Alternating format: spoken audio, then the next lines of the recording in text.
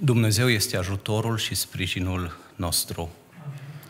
Un ajutor care nu lipsește niciodată în nevoi.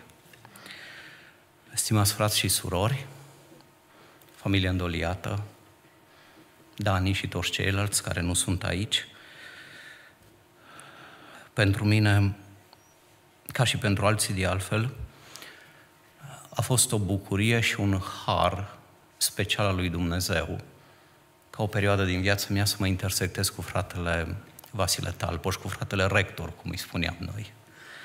Și acum, uitându-mă în urmă, cred că pentru cei care am studiat la București, care am devenit slujitori, a fost uh, harul acela special al lui Dumnezeu să trecem pe sub mâna dânsului. Permiteți-mi câteva, câteva amintiri. Când m-am dus pastor la Racovița, m-a chemat la dânsul și a spus, a, te-ai dus la Racovița. Să ai mare grijă să nu mă faci de rușine. Și zic că m-am străduit. Apoi, mai târziu, când am început doctoratul cu dânsul, mi-a spus același lucru.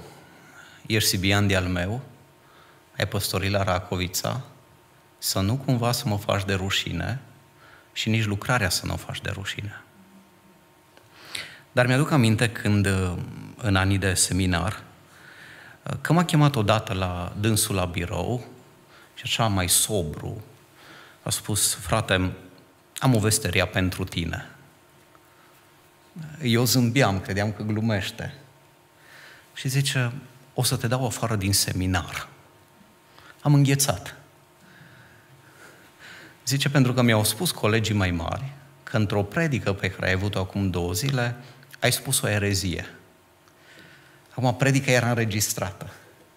Și a spus, te rog să-mi aduci predica. Și a luat predica și a ascultat-o, iotă cu iotă. După care m-a chemat după două zile și a spus, ți-am ascultat toată predica. Și a scos schița. Ce te rog să-mi justifici lucrul acesta. Nu știu, mi-a dat Dumnezeu un har să-l justific, cumva, și a spus, ai scăpat. să fii atent pe viitor. Am scăpat, slavă Domnului. Și am scăpat de mai multe ori.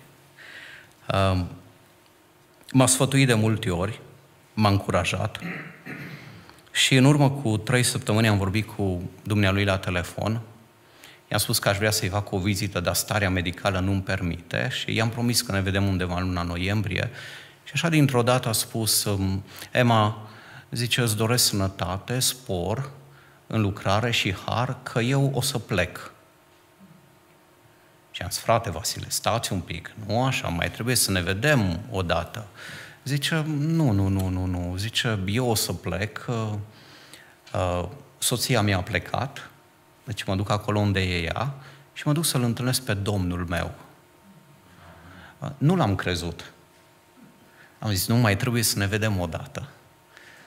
Apoi când am aflat că chiar a plecat, am zis că ne-om revedea la celea țărmuri. Știți ce am apreciat la fratele Vasile? Uh, un om de o eleganță ieșită din comun cum rar întâlnești. Eu personal am supărat de multe ori pentru că nu m-am încadrat în termenele pe care mi le impunea și cunoaște mai mulți lucruri acesta și spunea, frate, ce mă superi. Dar întotdeauna cu așa delicat, cu căldură, după care îmi spunea, să știi că nu m-am supărat pe tine. Și în momentele complicate vorbea atât de frumos, atât de calm, atât de liniștit, încât parcă câteodată îmi venea mie să mă enervez pe mine din cauza felului calm în care vorbește dânsul. Și i-am spus, dată, frate Vasile, da, uh, luați-ne un pic mai tare, un pic mai așa. Zice, măi, măi, nu pot. Sunteți și voi oameni cu slăbiciuni, Dumnezeu a avut milă de mine și eu trebuie să am milă de alții. Am beneficiat de lucrul acesta din partea lui și avea o vorbă pe care mi-o spunea mereu. Zice, vezi când vorbești cu frații în biserică, cu surorile, să nu cumva să ridici tonul peste o anumită tonalitate. Pentru că scrie în Biblie un, un lucru extraordinar de interesant și anume, robul Domnului nu trebuie să se certe. Am avut harul să cunosc și unele frământări de-a lui, așa cum probabil mulți dintre noi am cunoscut. Uh, mie nu mi-a vorbit de rău pe nimeni niciodată. Niciodată. Ba mai mult decât atât, încă din perioada seminarului și până acum, până acum de câteva luni de zile, uh, după fiecare predică pe care o aveam și o vedea pe internet sau o asculta la radio, mă suna. Zice, să știi că ți-am ascultat predica și vreau să-ți spun punctele bune, dar și punctele mai puțin bune. Uite așa, uite așa, uite așa.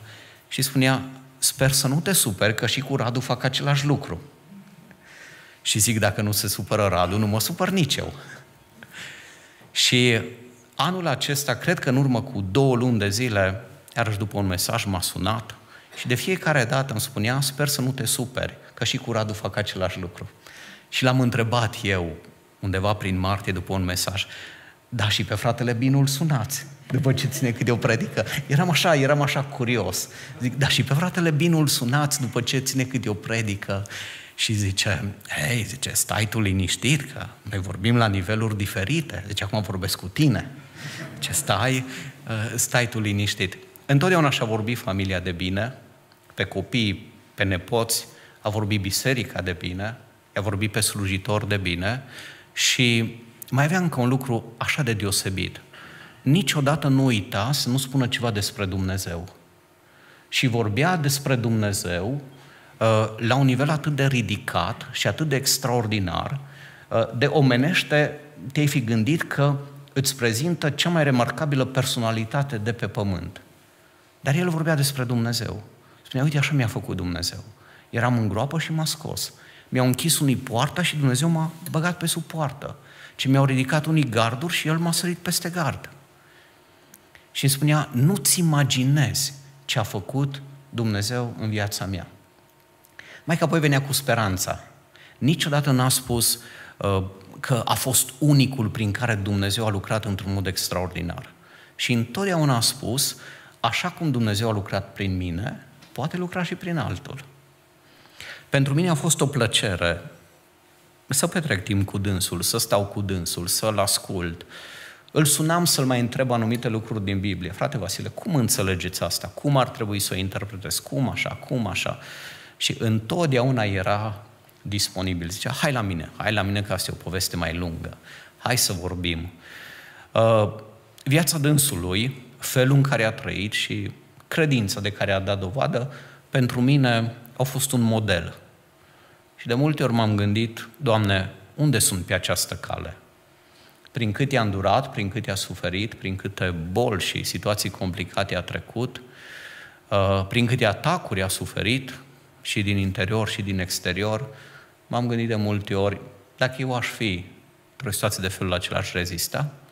Am dat slavă lui Dumnezeu că am avut un astfel de om pe care uh, l-a întărit, i-a dat putere și l-a însoțit cu Duhul lui cel Sfânt până la terminare. În ultima discuție telefonică mi-a spus uh, așa, zice, vorbim omenește, nădejdea mea este în voi, care ați trecut pe sub mâna mea, că veți duce lucrarea și cuvântul pe care l-ați auzit de la mine cu dreptate, cu cinste, cu demnitate pe mai departe. Și apoi că voi veți, vă veți ocupa de alții care să ducă lucrurile mai departe. Sunt încântat și mulțumit că am cunoscut un astfel de om și că am putut să am părtășie cu un astfel de om. Sunt mulțumit că suntem atâția pe care ne-a influențat prin slujirea dânsului, prin tot ceea ce a făcut și sunt mulțumitor lui Dumnezeu și pentru finalul pe care l-a avut. Un final în pace, în liniște, chiar dacă măcina de boală, Uh, niciodată nu s-a plâns chestia atât de greu. Ori de câte ori îmi spunea că îl dor picioarele, că îl doare spatele. Dar Dumnezeu este Cel care mă întărește și să știi că nu mă lasă. Ne-a încurajat tot timpul și a fost, uh, omenește vorbind, o nădejde din partea lui Dumnezeu pentru fiecare dintre noi. Eu aș putea să spun că mulțumesc lui Dumnezeu pentru un astfel de om, pentru că l-am cunoscut, pentru că a fost lângă noi, pentru că ne-a modelat și să facă Dumnezeu ca prin harul lui să se mai ridice astfel de oameni. De asemenea, primiți uh, condoleanțele și bisericii din Cisnădie, din partea bisericii pentru voi ca și familie și Dumnezeu să vă binecuvinteze cu nădejde și credință în această încercare. Amin.